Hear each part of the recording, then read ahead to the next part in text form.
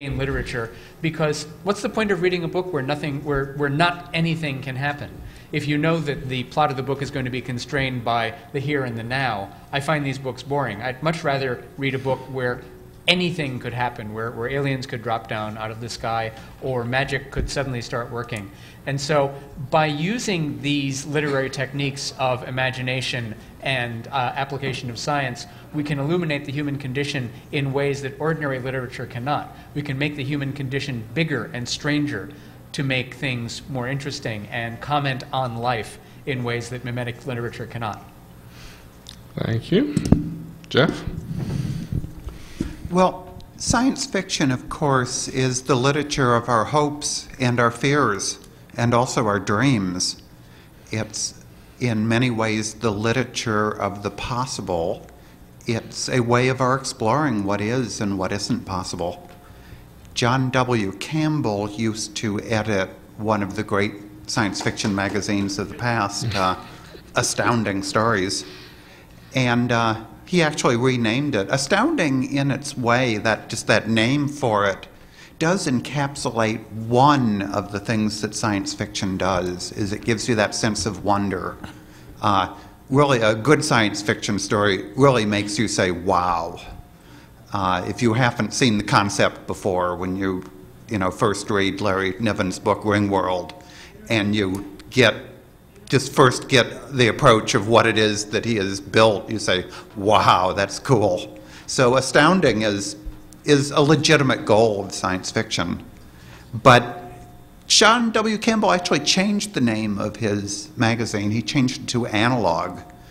Partly this was because Analog was a, more of a late 20th century name and not an early 20th century name. You know, Astounding did have that sort of smell of the 1930s. Uh, but also, he did it sort of deliberately because he said, well, science fiction gives us a way of playing with analog futures we can make the future. We can create it and see what it's like and see what it would be like to live there. So it's a, really an analog of, of moving into the future. Hugo Gernsback, the very first science fiction editor, uh, he started amazing stories uh, after other things like Electrical Experimenter magazine. Uh, in fact, thought of science fiction explicitly as a didactic literature. This was a literature to inspire young people and make them learn about science. But when you actually read that science fiction of the 1920s and the 1930s, you say, man, if they learned about science from that science fiction, what they learned may not have been exactly right. And I have to say, I had to unlearn a lot of the science that I learned from science fiction when I was a kid. But still, that is another purpose of science fiction. It's a literature of possibilities. It's a literature of inspiration because it shows us what might be possible. And in the flip sense, it shows us things that might be possible that we don't want. Certainly, science fiction novels like 1984 uh, are novels that show us paths into futures that may not be the path that we want to take. But at its best, science fiction shows us that the universe is very big there's a lot out there. Uh, there's places to go, people to see, things to do. Uh, it's a wonderful universe, and we should go out there and explore it. Thank you. Doctor? Yeah. Um, well, certainly th- there's various uh, kinds of works that are all lumped in as science fiction, and some are satire, and some are, uh, uh, you know, horror and this and that. But to me, um, the real science fiction that is uh, worth discussing as such um, is this stuff that attempts to enable you to see with your mind what has not yet been seen by anyone's eyes. Um, and and there's an inner truth in it. Um, I mean, let me take an example of um, some pretty influential science fiction, which on the surface is completely unrealistic. And that would be the uh, John Carter novels Edgar Rice Burroughs. Okay. And of course, this was a vision of a civilization on Mars that was based on the astronomical findings of Percival Lowell, uh, which were uh, at least accepted among the popular press at that time, uh, of the Mars of the Canals. And so Edgar Rice Burroughs took the Mars of the Canals and he populated it with uh, um, extremely interesting combination of civilizations, which he described in great detail, even down to the rules of their version of chess. Um, and uh, now, you might say that both Lowell and um, uh, Burroughs were completely wrong. We saw that with Mariner 4. There are no canals on Mars, and certainly no, uh, you know, cities of red men with flying battleships, and you know, um, Tharks and Warhoons, you know, uh, roaming the plains on six-legged thoats, and the, um, and yet there's an inner truth there because what he made clear to his readers was the idea that there are other worlds. Um, that, you know, most people, even though they know academically that the Earth is a planet and there are nine planets in this solar system and probably lots of others in other solar systems, they nevertheless think of uh, their actual mental map of reality is that this is the world and this other stuff is in the sky.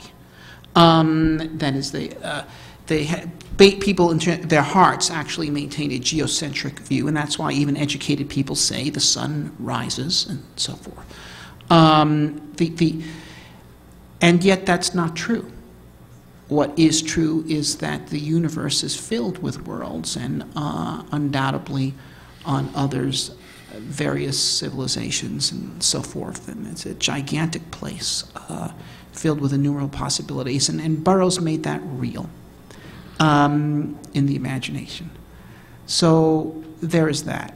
And then finally, there's another thing, which is here we are. I mean, the science fiction takes off as humanity approaches and enters the space age. And, and, and, and, and it is most emblematically about space. That's why, even though not all science fiction novels are about space, the science fiction award today is a rocket ship, and uh, it is the symbol of science fiction, is, this, is the rocket um, that's going to go into space and see what's out there. And um, in a way, to me, um,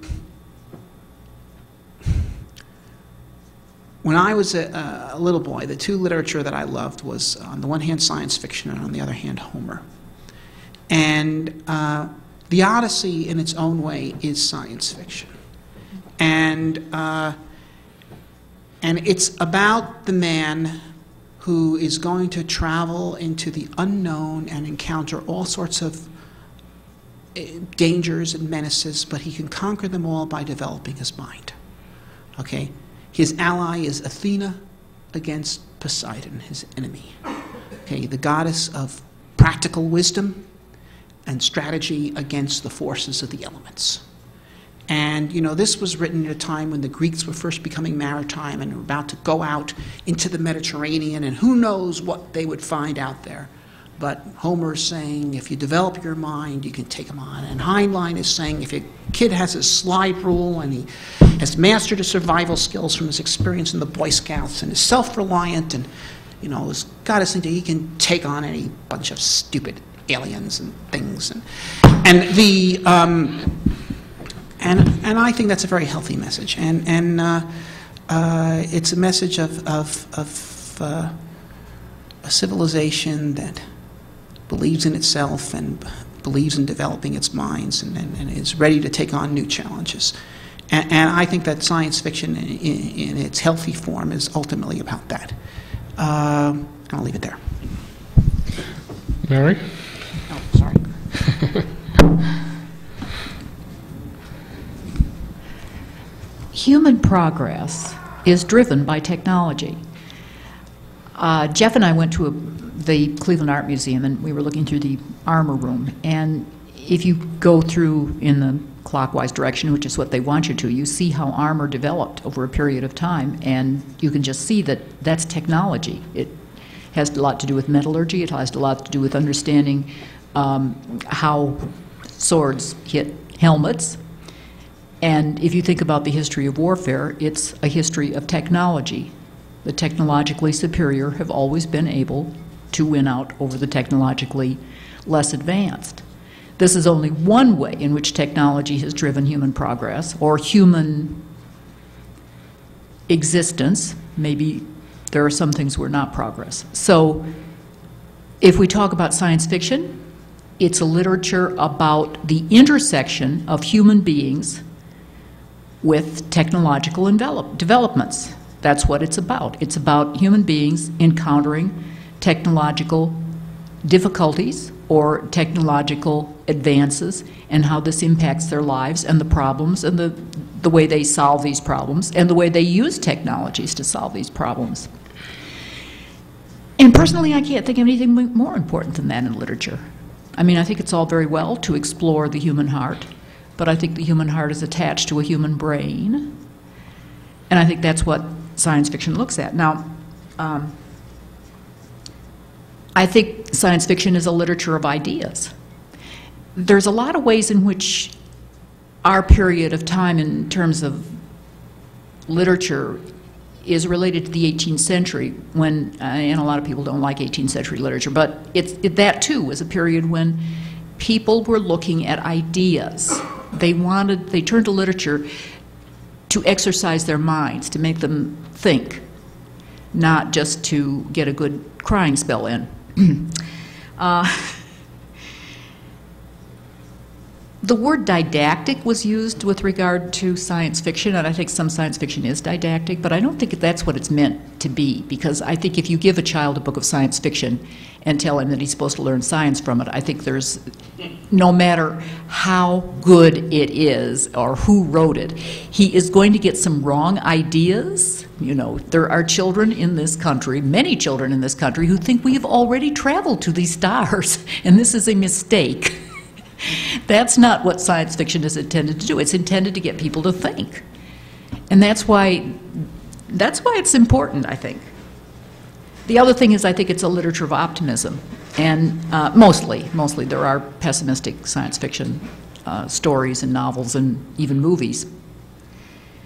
Because it's a literature that posits the idea that we're going to have a future, and not only are we going to have a future, but the future is going to be driven by human ingenuity, and that people that try hard enough and that think hard enough and are clever enough are going to prevail, and that humanity will prevail over whatever problems it has through intelligence and through ingenuity. And that's why I think science fiction is important.